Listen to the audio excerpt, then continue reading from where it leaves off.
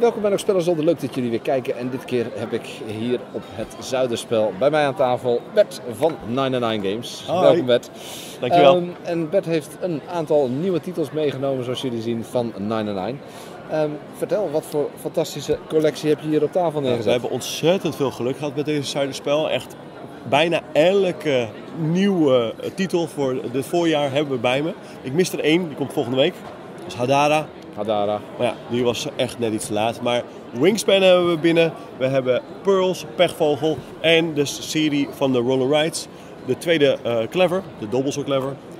De Patchwork Doodle en de Bricks. Ja, waanzinnige, leuke. Dat is een nieuwe trend, hè? Ja, de nieuwe Ehm, Roll Rides. Ja, dingen die bij ons heel hot gaan. Nou ja, Wingspan was natuurlijk... eh, Ja, die heeft heel veel hype. Ja, die echt... jullie ook veel verzoekjes.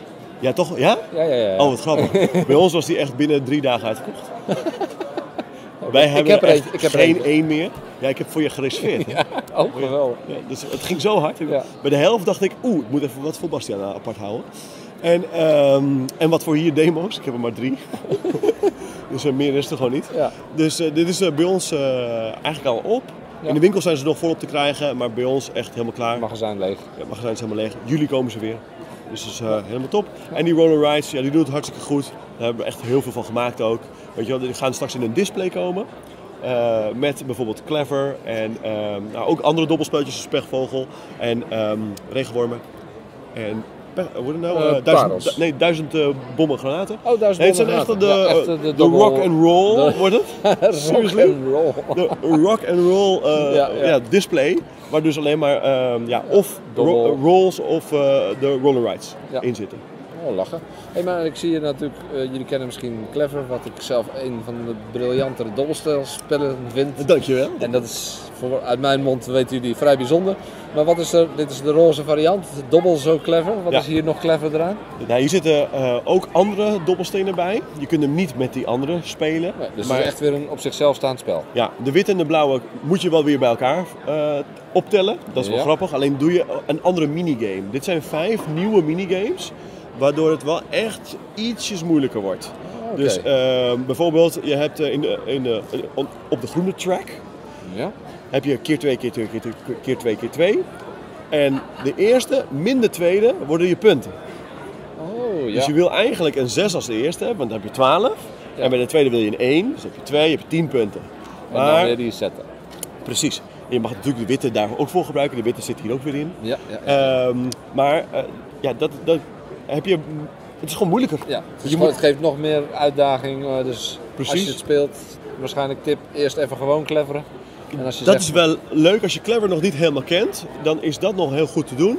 Deze is echt eh, net een tandje bovenop. Ook een stuk moeilijker. Maar je wordt wel beloond met veel meer punten. Ja, tof. En Patchwork, dat is natuurlijk een klassieker van, eh, waar heel veel mensen nog steeds heel veel schik. En ik raad hem ook nog steeds liefhebbers van snel twee spelerspellers raad ik, aan, raad ik hem aan. Ja. En dit is Patchwork Doodle. 1 tot 6 spelers. Dat maakt het echt super goed. Dat maakt heel Ik breed. vind hem, eh, v- ja, ik vond hem echt heel erg leuk. Ehm, ook weer dat patchwork element. Je hebt dus kaartjes, je hebt acht kaartjes die je eh, in een rondje neerzet eigenlijk. Ja, En je hebt een pionnetje. Wat dus eigenlijk een Agricola meeple is in plaats van een pionnetje. En Ja. dat is in de hele dat hoort productie, zo. dat is in de hele productie fout gegaan. Ehm, en normaal mag je toch, uit eh, de eerste drie lapjes kiezen. Ja. Nou, hier gooi je dus een dobbelsteen.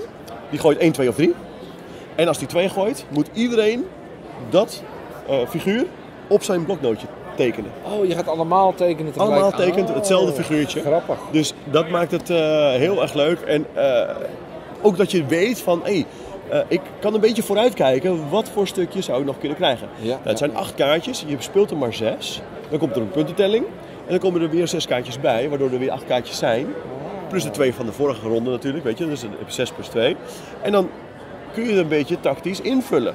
En nu gaat het bij uh, Patchwork Doodle erom dat je dus eigenlijk een groot vierkant maakt. Oh ja, het, eh, hoe vier, het vierkant is waar je op scoort. Het vierkant is waar je extra op scoort. Oh, extra. Het mag natuurlijk wel een rechthoek zijn, want je rechthoek eh, levert ook wel extra bonuspunten op. Maar een rechthoek van bijvoorbeeld 3 bij 5 Ja. levert 3 bij 3 punten op. Dat is, dat is het vierkant. 9. Ja, dat is het vierkant. Plus twee rijen. Dus dat is 11. Ja, als je En een 4 blok. bij 4 zou hebben gemaakt. Dan heb je, 16. en dan heb je veel meer. Met eigenlijk een minder oppervlakte. Dus Met minder oppervlakte. vierkanten maken wil je doen. Ah, tof. En de laatste eh, roll and ride die hier op tafel staat. Bricks. Bricks. Dit is meer à la Tetris. Ik wou het zeggen, ik zie daar... eh ik leg hem eventjes voor de camera hier neer. Nou ja, sommigen zeggen dat zijn de soort- soortgelijk vormen als bij Patchwork Doodle. Alleen bij Patchwork Doodle heb je ook een 1 bij 1 bijvoorbeeld. Ah, of een, eh, een 5 met een eentje erbovenop. Eh dit zijn echt de Tetris, Tetris stukjes. Op jouw blaadje is ook echt zo'n arcadekast. en dan vallen die stukjes gewoon naar beneden. die heerlijk. stukjes kun je dus ook, net als in de eh, oude, kun je bijvoorbeeld dit doen. Oh, nog net kan. Dat kan, maar als, je, als dat breed genoeg is, want anders Ja. ligt er bovenop. Klap. En eh, de grap is dat, eh, nou ja, als je, met een, je, je gooit met een D4 en een D6. Ja, De D6 geeft de kleur aan. oké. Waar, welk, eh, ja, welke kleur je gaat, eh, welke vorm het is. Ja. Maar de eh, D4 geeft dus aan Oh, in welke kolom je kijkt. Ja. Ja, dus je- je krijgt dan dat stukje. En door middel van energie kun je uit die rij kun je hem veranderen qua positie. Maar het kost je dus energie. Dus je moet ergens energie verdienen, net als bij Clever. Ja. Hè? Je moet Moet je ergens energie verdienen om een blok te kunnen roteren, om hem zo optimaal mogelijk te kunnen neerzetten. Grappig.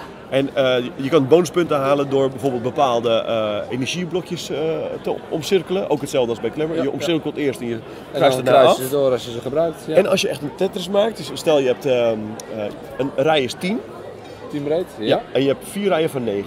En je kunt, je, ken- je kent hem, Ja, ja, ja. Die ene vi- die ene lange neerzetten? Vierste. dan maak je dus vier rijen tegelijk klaar. Dan mag je vier extra kruisen neerzetten op een bepaalde track, waardoor je dus Oh. extra bonuspunten Ja, gaat dan verdienen. scoor je extra. Dus ja, dat zit er allemaal in dat er spel. zit dus heel veel in. eh. Ja, ja, gaaf. heel erg leuk. en ook weer heel anders. Ja, ook weer iets, eh, ja, toch weer een heel ander mechanisme. Ja, en hoe hoger je komt, hoe meer de vermenigvuldigingsfactor eh, wordt. Ah. Dus een, een rij van 10 is eh 5 punten. Maar als, je dat, als dat lukt, wat meer bovenaan, dan wordt het keer 2. Dan wordt het 20 punten. Dat hem Dus, lekker door. Ja, en de laatste rij is zelfs keer 4, maar succes met, met die. Schrijf maar in de comments als je het ooit gehaald hebt. Ja, ja, precies. ja. Ah, je, er zijn natuurlijk ook manieren dat je bijvoorbeeld, een, eh, als je een blok echt niet wil, dat je je kan laten ontploffen. Ja, precies. Eh, dat mag maar drie keer per eh, spel, bijvoorbeeld. Nou, dat- zo zijn er meerdere Ja, mogelijkheden net zoals om... bij Calcium Clever heb je ook wat. En Clever heb je gewoon wat dingetjes dat je gewoon Ja. een veel neemt. Precies, Ja. of ja, ja, bij deze is het zo. Deze heeft een, heeft nieuwe, dat je een dobbelsteen ehm, uit de zilveren schaal mag pakken. Dus stel je mag nog een keer gooien. Ja? Je hebt zoiets van, nou, die blauwe heb ik, is een keer afgelegd omdat die lager van waarde was of wat dan ook. Maar die wil ik eigenlijk wel opnieuw gooien. Dan kun je die inzetten, dan mag je die blauwe pakken, en met alles gooien. kun je die blauwe weer kiezen. Dat is nice. En daarna zou je met een plus 1 hem nog een keer kunnen kiezen als je dat zou willen.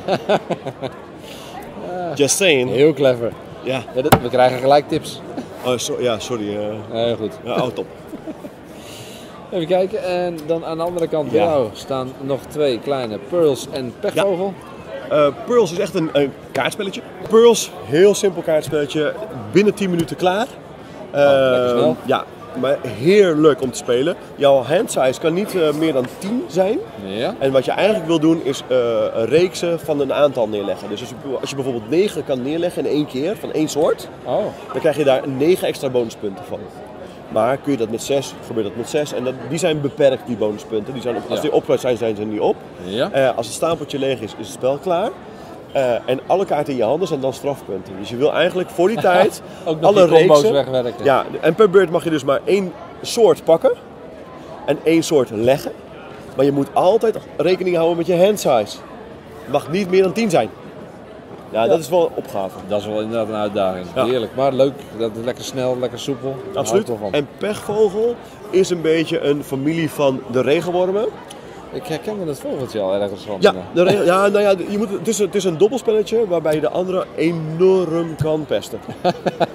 het is wel we bedoeld, zeg maar, je, je verzamelt blokjes en die blokjes zijn min drie punten eh, aan het eind van het spel. Maar die blokjes kun je ook inzetten eh, om andere mensen, stel dat jij eh, jouw zeven punten gedobbeld hebt, dan kan ik dus met zo'n blokje ook zeggen, gooi dat maar lekker opnieuw. Oh ja. Als je het dan niet haalt, dan krijg je mijn blokje. Als je het, het is een beetje double or nothing. Als je het wel haalt, krijg ik twee blokjes uit de pot. Ja. Nou, dat is niet helemaal waar. Ik krijg een blokje wat ik had en een blokje En van jou. blokje van jou, ja, Mocht jij hem niet hebben, krijg je hem uit de pot. Ja. Dus eh, het is of inzetten en hopen dat je hem niet haalt. Dan krijg ik hem dubbel. En anders. En anders geef ik hem aan jou. Ja. Oh, heerlijk. Beetje pesten, een beetje bluffen. Ja, en heel vlot hoor. Ja, Dit een is, snel spelletje. ehm, ja, het 20 gaat een stuk vlotter dan regenwormen. Ja, ja, ja. ja. Ja, absoluut. En de laatste. Wingspan. Ja, ik heb er eh, drie meegenomen hier. Ik heb drie tafels. Het zit vanaf minuut één Vol.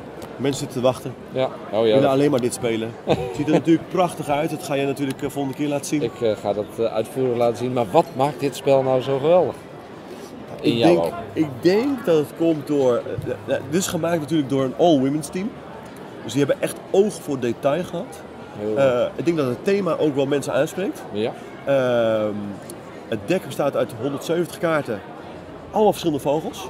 Dat is een beste hoeveelheid, ja. Je kunt het echt blijven spelen en nieuwe dingen blijven ontdekken.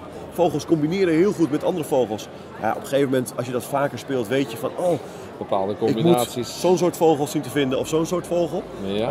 Ehm, het is een engine builder. Ah, Oké. Ja. Zoals eh, Port Royal is, alleen plus plus. ja.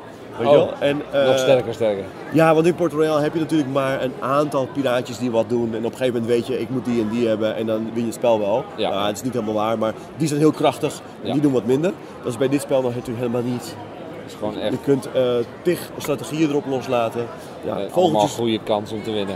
Absoluut. Vogeltjes leven in bepaalde leefgebieden. Als die leefgebieden st- steeds gevulder raken met vogels, kun je steeds betere dingen doen. Ah. Snap je? Maar eh, ben je alleen maar gefocust op bijvoorbeeld eh, eh, bosvogels, dan, ja, dan heb je niks aan je watervogels. Dus als je een beetje geleidelijk opgaat, kan dat winst geven. Maar ga je specificeren, kan dat ook winst geven. Dat kan je ook bijvoorbeeld beperken op een Ja. bepaald moment. Overspecialisatie. Ja, ja, ja, ja. Snap je? Dus Ja. In- inhoud gezien heel tof, maar ik denk dat de uitvoering, dat het dat de combi is. Ja, want Het spel met de uitvoering. Voor de mensen die het nog niet gezien hebben, je krijgt hier ook, als ik het goed begreep, een eigen dice tower bij. In de vorm van een vogelhuisje. Ja, dat is toch briljant. Ja, dus je, je gooit ook het, het voedsel van de vogeltjes. Eh, je hebt bepaalde doelen die je moet halen. Je hebt niet alleen je eigen doel, maar ook de ronde doelen heb je. Eh, bijvoorbeeld, je moet de meeste eieren hebben op de weidevogel Oh, ja, ja, eh, ja. eh, reeks. Eh, nou ja, en zo moet je een beetje vooruit kunnen kijken van... Hey, nou ja, het doel van deze ronde ga ik niet halen. Maar misschien van de volgende ronde wel. Dus Ja, dan ga, je, ga, ik nu al, Ja, ja, ja. ga ik nu alvast op inzetten. Je weet alle vier rondes van tevoren. Ja, Het, het is super tactisch. heel Het tactisch. is eh, voor beginners wel wat heftig, denk ik. Ja, omdat een engine builder vergt wel wat ervaring. Dat Ja. je combinaties gaat zien en snapt. Het is geen scythe. Het is geen site. Het is scheelt. geen scythe. Nee. Dus eh, daarbij past hij eigenlijk beter in onze collectie. Ja. Weet je wel? En ja, hij past perfect in, ons, in, ons, eh, Ja, ja. in onze collectie van wat we hebben. is een Weet je beetje wel? Voor, voor, de, voor, voor het publiek. ja.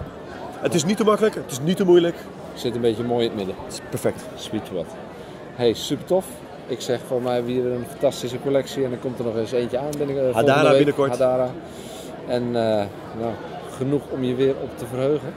Dus naar binnen halen. Hey Bert, hartelijk dank voor je uitleg. Graag gedaan. En jullie bedankt voor het kijken. Tot de volgende keer.